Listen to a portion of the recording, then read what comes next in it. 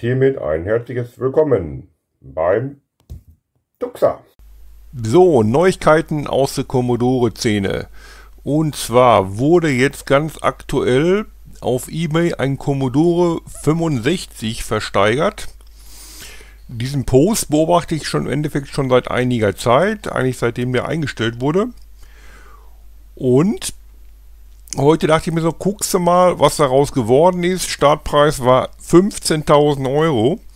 Jetzt mache ich den wunderschönen Tux hier weg. 25.000 Euro, 51 plus 10,50 Euro Versandkosten.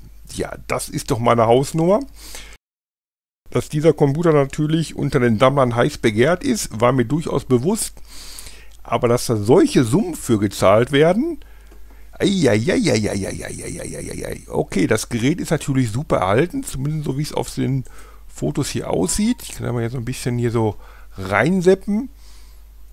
Hier ist alles wirklich noch so gut wie nagelneu. Ich weiß nicht, ob hier der Aufkleber fehlt, aber ich denke mal, das ist ja nur Peanuts. Auch hier die Anschlüsse, sieht alles noch top aus. Ein richtig schickes Gerät. Hat die Serialnummer 26, also einer der aller, allerersten C65 Commodore. Und wenn davon nur 250 oder 500 Stück gebaut wurden, dann ist das natürlich verständlich, dass das Gerät so heiß begehrt ist. Aber 25.000 Euro, puh, das ist meine Ansage. Das ist wirklich eine Ansage.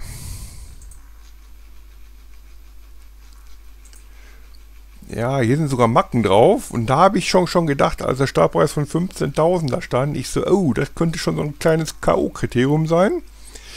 Ob er diesen Preis überhaupt bekommt.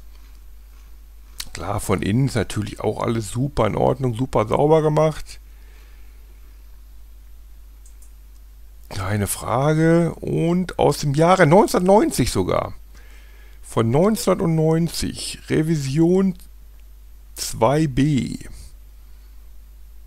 Genau, C64DX, genau, das war ja die Projektbezeichnung für dieses Gerät, bis man sich dann hinter entschlossen hat, das ganze Gerät einfach C65 zu nennen.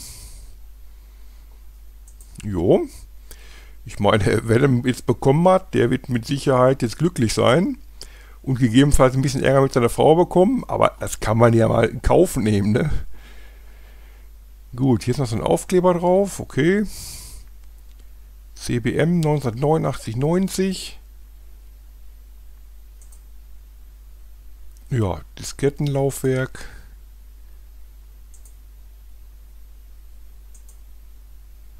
Und er funktioniert. Hier ist sogar noch so ein kleiner Videoclip mit dabei. Auch interessant. Basic 10.0. Nicht schlecht. Und hier wäre noch eine Tastatur. Ich glaube, die gibt es irgendwie noch on top, meine ich, mit dabei. Die hat aber hier so eine Beschädigung. Geht es mit dem eigentlichen Computer nicht zu tun. Gut, Netzteil. Hat dann immerhin doch original von Commodore bis 240 Volt. Ob das jetzt ein Nachbau ist oder nicht, das kann ich jetzt hieraus nicht entnehmen. Nö, sieht erstmal optisch, sieht das erstmal sehr gut aus. Oder das ist von dieser Spielkonsole. Ich glaube, diese Spielkonsole hatte, meine ich, auch ein schwarzes Netzteil. Ja, dann schauen wir uns nochmal eben das Video an. So viel Zeit muss sein. Was das Gerät so tolles alles kann. Oh, schön, Diskette. Ganz vorsichtig, behutsam wird er gestartet.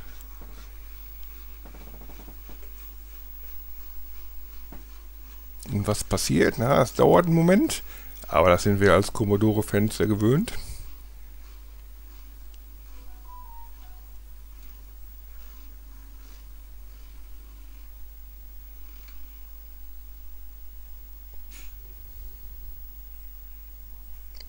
Ah, habt ihr es gehört? Dieses Floppy-Geräusch. Herrlich.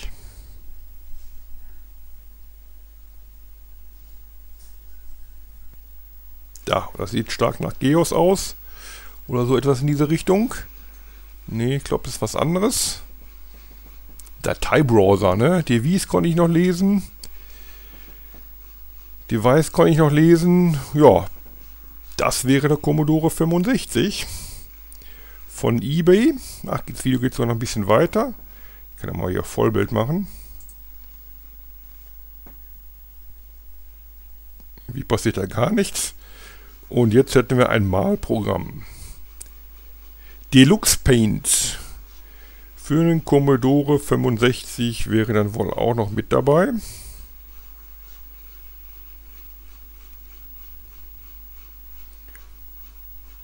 Und ein Amiga-Monitor sehe ich da, aber ich glaube, der war auch nicht mit dabei bei der Aktion. Oder Auktion. In gewisser Weise auch eine Aktion, keine Frage. Und ja, mo auf Monitor sieht man 1991. Oh, das Bild ist glaube ich nicht ganz jugendfrei. Da werde ich wohl was verpixeln müssen. Gut, ähm, das zum Thema Commodore 65. Wir können mal ganz kurz in der Artikelbeschreibung gucken. Ja klar, er schreibt natürlich einen Prototyp. Das ist natürlich richtig. Das war der Commodore 65 ja immer. Den Status ja nie verlassen. Ja, kurz ein paar einleitende Sätze. Dass es ein Prototyp war und dass man bei Wikipedia alles dementsprechend nachlesen kann. Es handelt sich um die Revision 2b. Das haben wir ja schon auf dem Bild gesehen. Den Fotos, genau wie die mit der Seriennummer 26, Basic 10.0. Ja, der Rechner wurde nicht umgebaut oder verändert, also 100% original. Und natürlich auch wichtig ist, er funktioniert. Die Leuchten funktionieren auch. Disketten funktionieren, Auswurf, alles ohne Probleme. Ja, und hier schreibt er auch nochmal, äh, an einem älteren Commodore-Monitor hat er den Test durchgeführt. Ja, und beim Wechsel in den C64-Modus äh, Modus war das Bild scharf. Hier aufgrund des besseren ja, Bildoutputs. Ja, wurde gut gelagert. Optisch ne, ne, dem Alter entsprechend in guten Zustand. Ja. Schreibt nochmal noch als Besonderheit, ist hier auch eine Klappe für den Erweiterungsslot vorhanden. Das haben wir noch im Bild ja auch gesehen. Das hätte mich auch mal interessiert, was daraus geworden wäre aus der Kiste. Aber ich denke mal, die kam ein paar Jahre zu spät auf den Markt.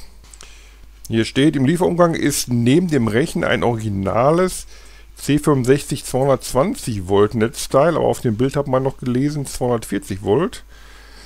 Ähm, kann natürlich sein, dass er zu Testzwecken ein anderes äh, Netzgerät genommen hat. Und ein Papierunterlagen und die Disketten werden auch noch beigefügt.